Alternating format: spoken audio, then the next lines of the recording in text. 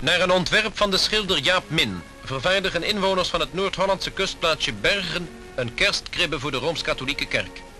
De smid zorgt voor de geraamten van de beelden, die hij nauwkeurig aan de hand van de tekeningen uit dik ijzerdraad vormt, aaneenlast en vergelijkt met de opvattingen van de ontwerper.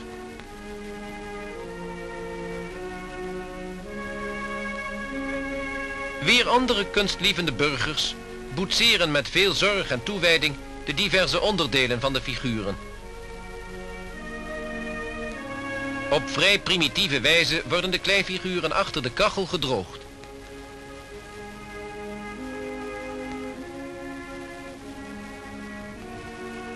De droge onderdelen bevestigt men aan de ijzeren karkassen.